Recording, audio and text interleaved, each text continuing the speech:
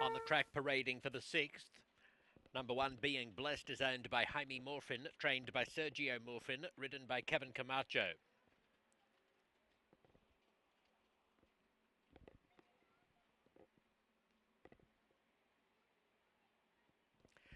Number two, BDR Dragster, one of a pair owned by David Hinkins, trained by Adan Farias.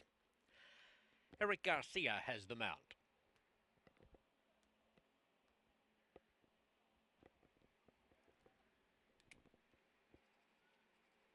Three is Fort Bridger, owned by Ariel Moreno, trained by Jorge Farias, guided by Cesar Ortega.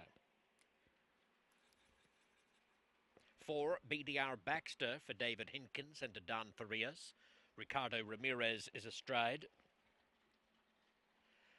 Five, Edinburgh Express is scratched.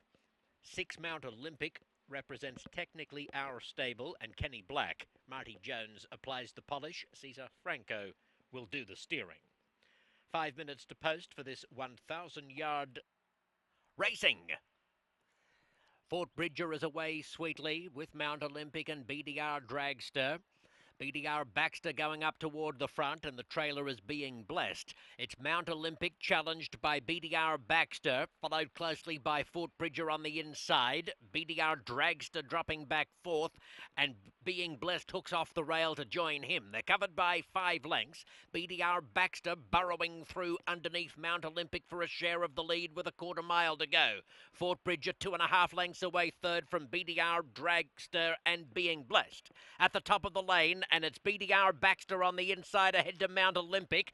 BDR Baxter carries Mount Olympic a bit wide. Here's Fort Bridger launching after them both. Fort Bridger down the outside. Fort Bridger getting to the lead, and Fort Bridger wins. Fort Bridger from either BDR Dragster.